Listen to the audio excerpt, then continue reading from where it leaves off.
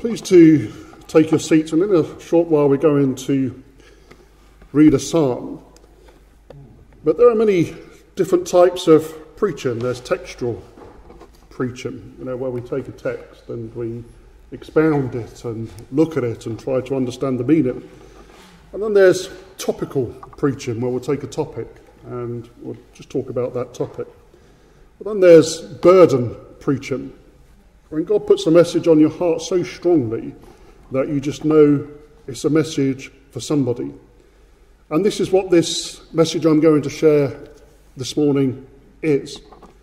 And I don't know who it's for. It might be for somebody here, it might not be. It might have no relevance to anybody here whatsoever. It might have relevance for somebody you know, that you think, I know somebody who's going through this. This is a message for them. It may have relevance for somebody who listens to it on our website in weeks, months, or even years to come, that they will listen to it and God will use it to help them in their situation. So, all I know is that God has put a burden on my heart to speak this message this morning, and that's what I'm going to do. And the title of the message is this the power of walking away. Now, if I was to ask you this question this morning, how would you answer it? And the question is this Have you ever made any wrong choices in your life? I know the answer just by your response straight away. Have there been times in your life when you looked back with hindsight and said to yourself, I would make a different choice if those set of circumstances were before me now. I'm sure all of us, if not the majority of people who listen to this message, would conclude that absolutely. In life, there have been times we've made good choices. In life, there have been times when we've made bad choices. And with every choice in life, there is intended consequences, those we planned. Sometimes we make our plans and we work out these are the intended consequences. And we'll do a list of the good things and the bad things and then make a choice based on as much information as we can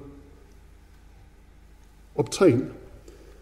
Other times there will be unintended consequences, things we didn't plan, things we didn't anticipate that just happen anyway. But we'll all agree that with every choice, there's always a degree of consequences. Those we plan and those we did not plan.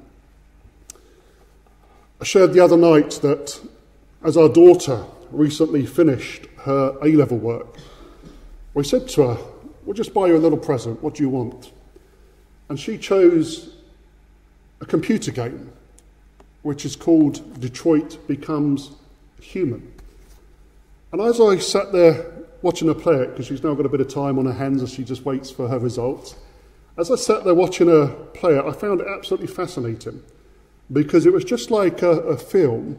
You'll have a kind of a sequence of action, and then it will suddenly come where the characters are faced with choices. And quite often, they don't have a lot of time to make those choices. They'll have only a few seconds to make these choices, and whatever they choose will unlock a different path for these characters. And it's quite fascinating that when you make the choice and you end up with the end result of this game, if you actually play it again and make different choices, the end is different. There's lots of different endings. Some are good endings, some are bad endings, some are absolutely tragic. I won't go into too much details, but it's a very, very clever game where the choices the people make in this game, or the choices the controller of the avatar makes, can have so many different endings. I think we'll all agree that life in general is about choices, and even a life lived by faith is about choices. And the life of faith has two paths, and that is the life of wisdom, the wise way to live, or the life of foolishness, a path that is destructive on so many levels, depending upon the choices we make. Now, if the Bible portrayed its characters as men and women who only ever made perfect choices, all of us would doubt the sincerity of it, wouldn't we? If we looked at the men and women of the Bible, and what we saw was a perfect life, every temptation they met, they passed it with flying colours. Every time they were confused, they made the right decision.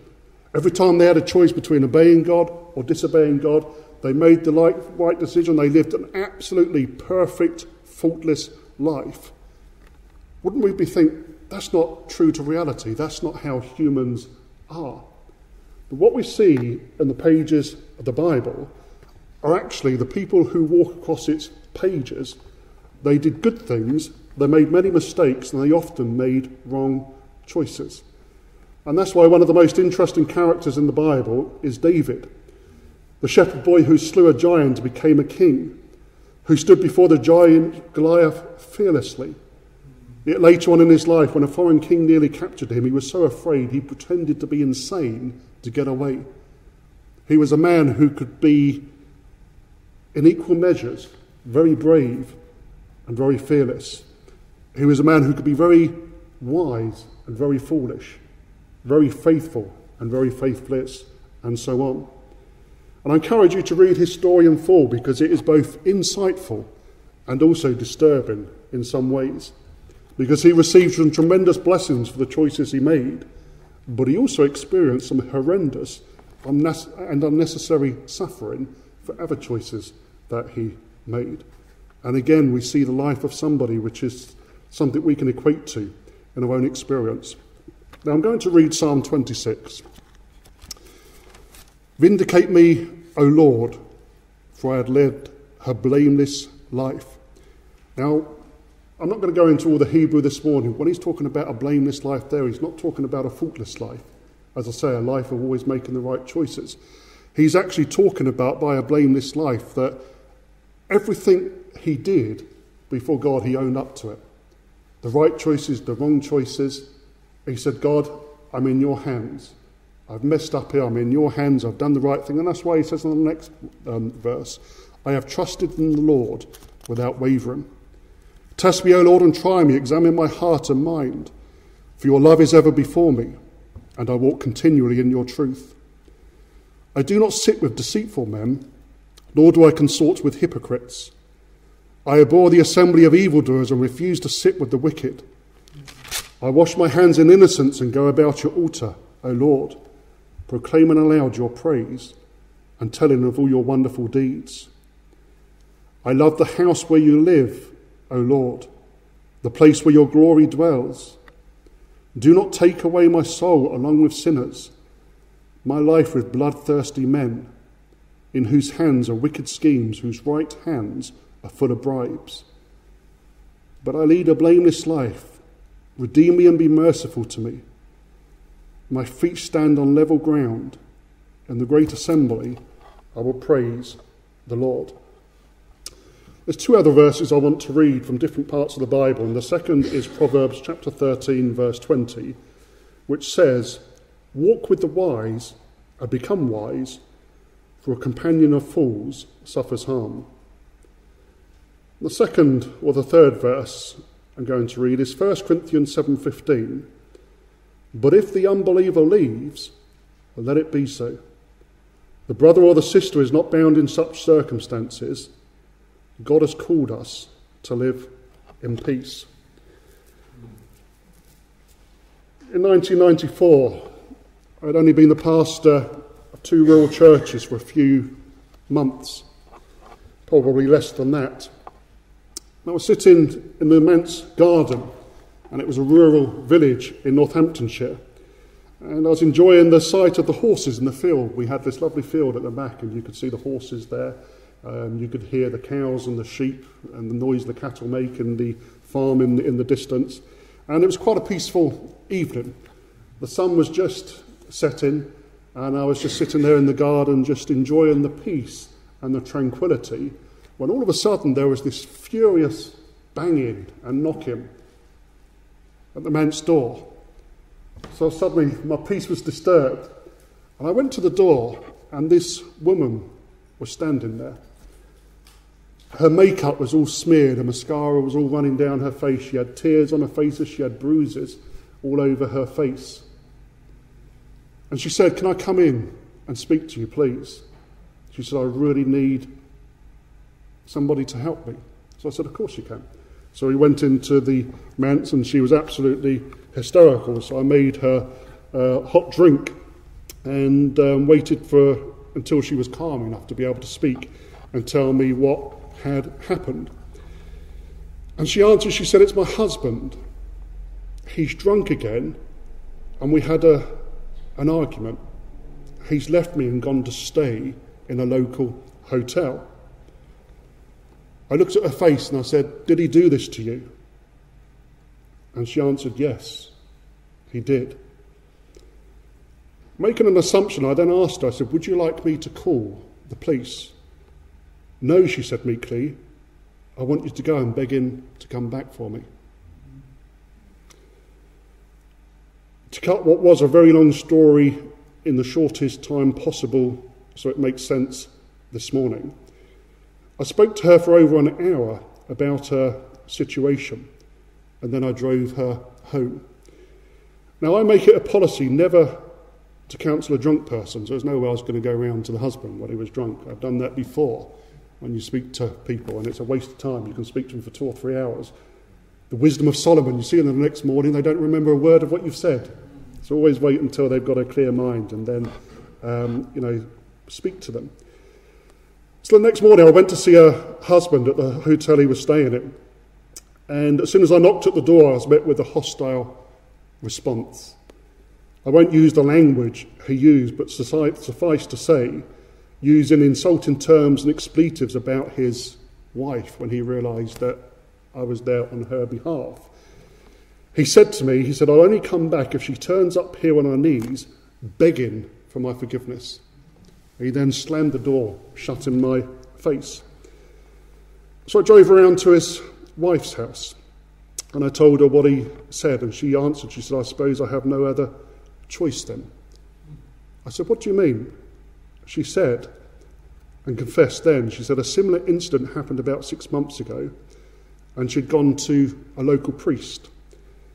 And the local priest had put the burden on her that she had to go and try and make the marriage right with her husband. And he gave her this big study about the responsibilities of marriage and so forth.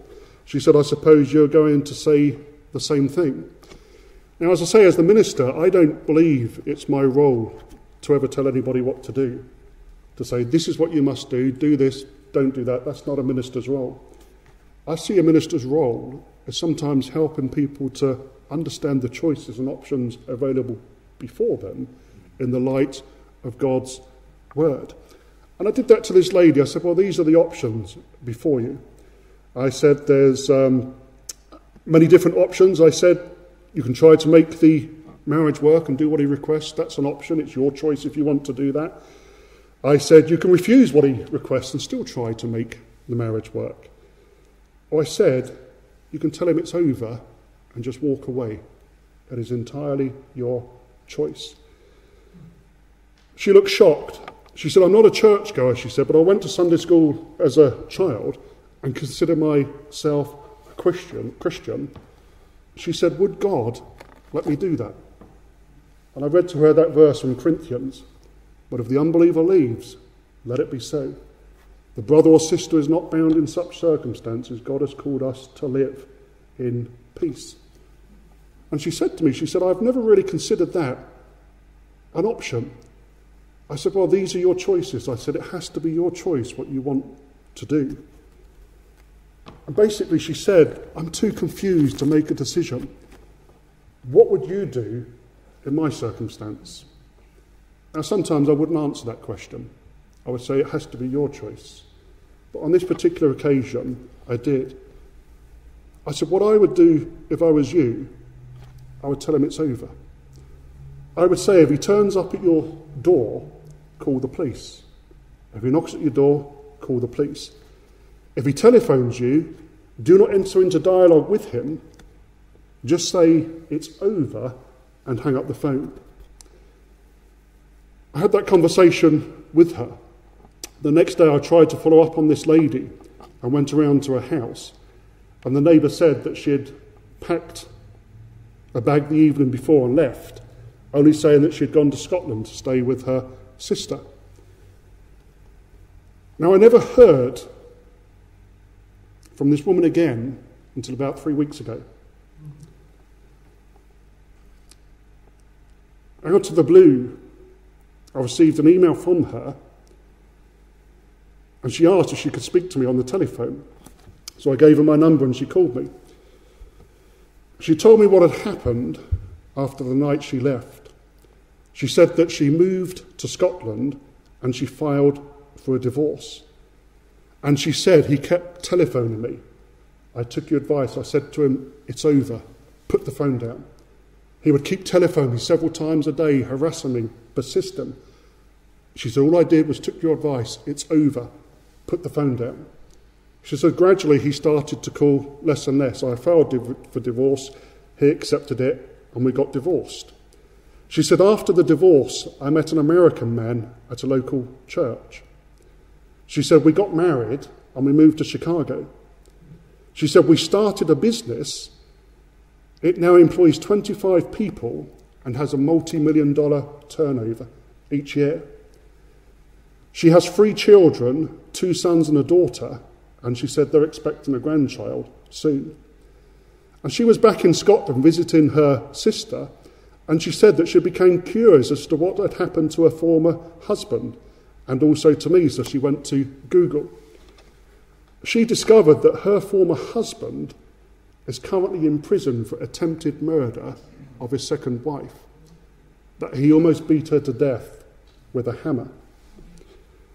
She said that she felt so guilty, she went and found the victim of the second wife, and they've offered her a job in America, and their church runs a women's refuge and all stuff like this, and they're trying to help this woman and they're actually trying to sort out the visa now.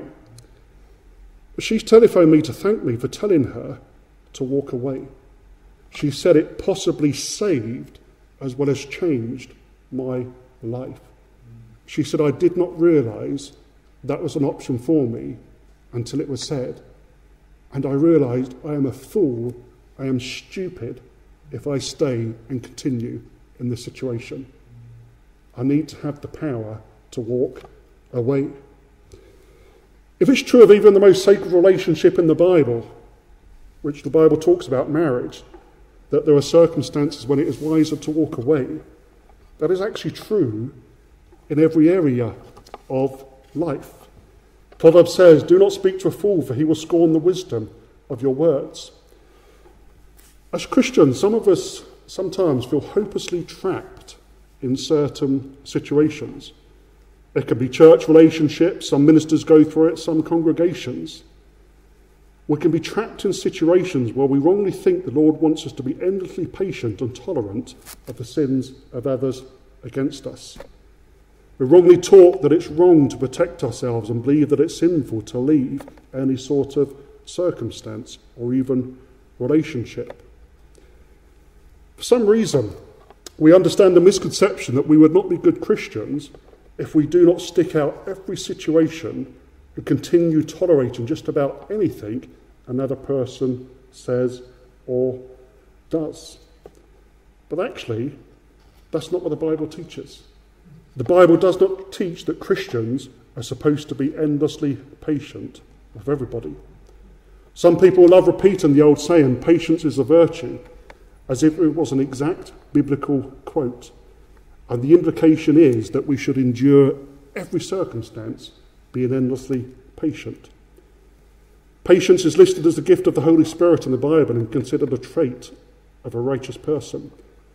But when taken out of context, it has a completely different meaning than what is presented in Scripture. Whatever patience is spoken of in the Bible, it most often refers to not losing our faith in God when we're going through difficult times. That's where the focus is. Keep looking to God, just like David. I keep looking to you. I'm going to extract myself from the assembly of the foolish and the assembly of the wicked, he said. I will have the power to walk away, but I will keep looking at you. That is what it means when patience is spoken of in the Bible.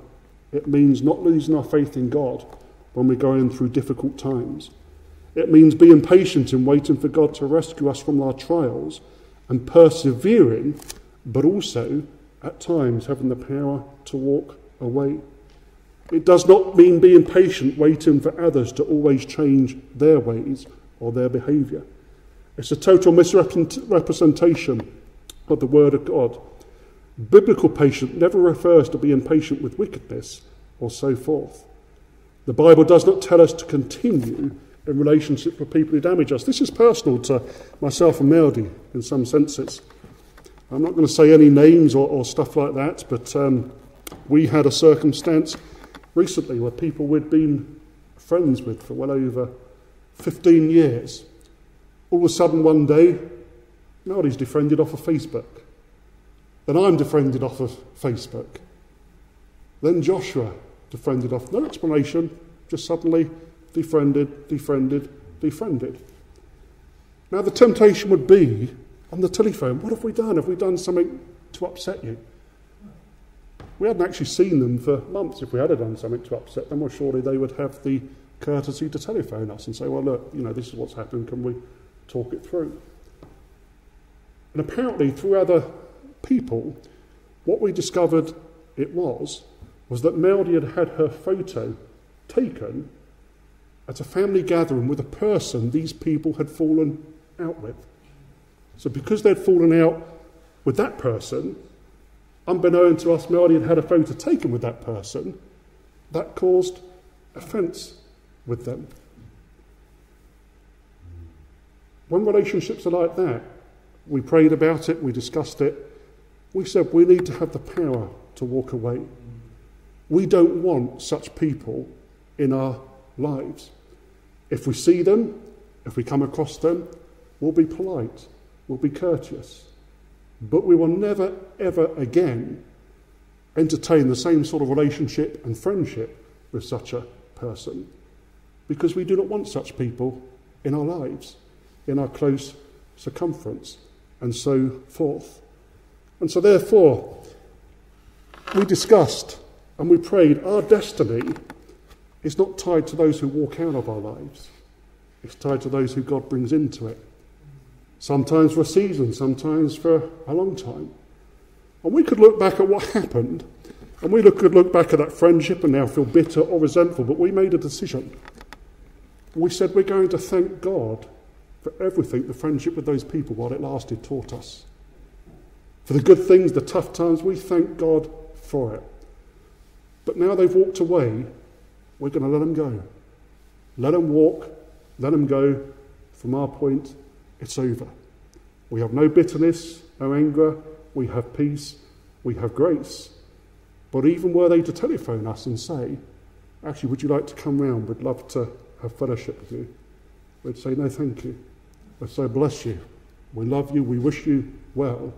But actually, the whole nature of our relationship has now changed.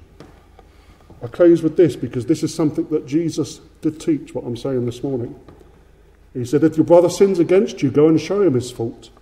Just between the two of you, if he listens to you, you have won your brother over. But if he will not listen, take one or two others along, so that every matter may be established by the testimony of two or three witnesses.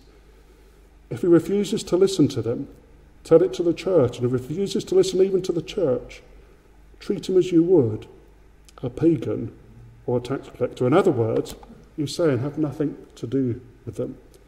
Jesus also told his disciples, He said, If any place will not welcome you or listen to you, shake the dust off your feet when you leave as a testimony against them. I'll close with this. One of my favourite scriptures is Matthew 7 6, which is Jesus himself speaking to us. He says, Give not that which is holy unto the dogs, neither cast your pearls before swine, lest they trample them under their feet and turn again and rend you. Some people will take our love for them and use it against us. But the Lord instructs us not to give our best to those who don't appreciate it and will only turn of us instead of giving us equal respect and love in return. So, whoever this message is for, whether it be for somebody here, whether you think it's for somebody you know, whether it is for somebody who may listen to this on our church website, I encourage you to have the power to walk away under certain circumstances when a situation becomes absolutely intolerable. Have the courage and the power to walk away. Let us pray.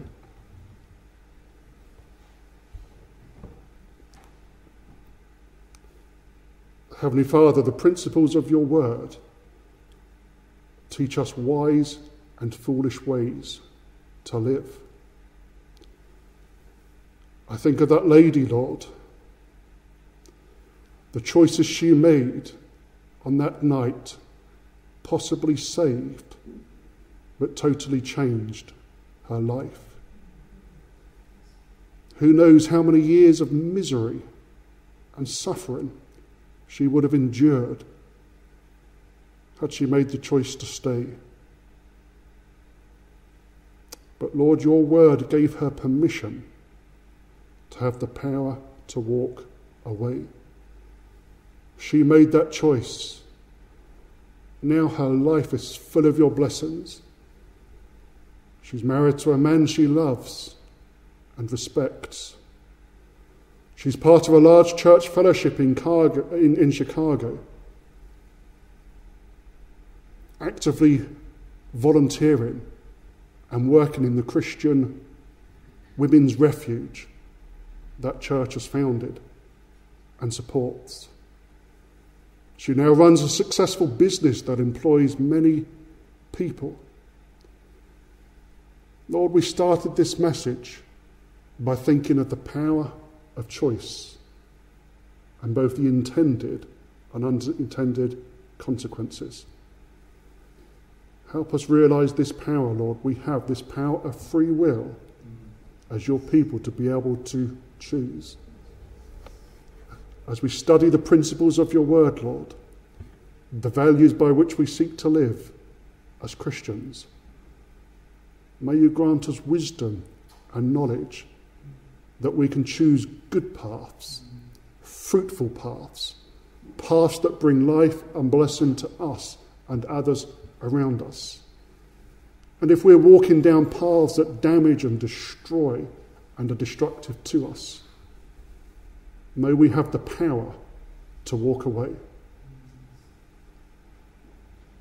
May we have the courage to start down new paths